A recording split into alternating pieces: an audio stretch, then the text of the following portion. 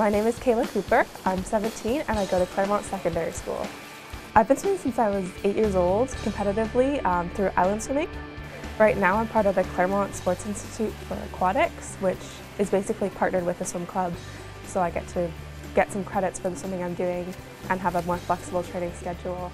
The highest level she's reached so far is Western Canadian Championships. In terms of accomplishments uh, with the club, she's won the Grit Awards, so she's won it once with me and then uh, two other times with other coaches.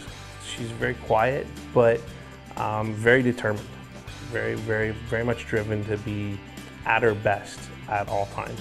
This summer, I got to spend three weeks working in a lab in Toronto. Um, it was a medical research lab and I was paired with a doctor in the lab. I got to perform tons of experiments, got to get lots of hands-on experience and see what it would really be like to work as a medical researcher.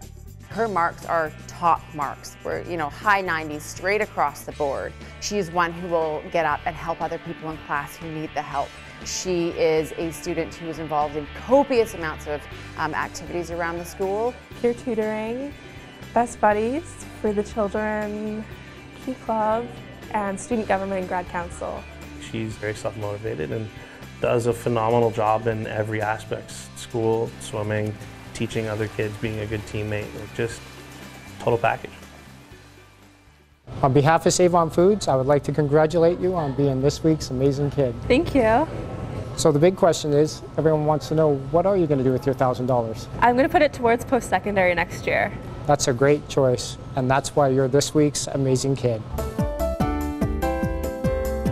If you know an amazing kid, please visit SaveOnFoods.com to nominate someone.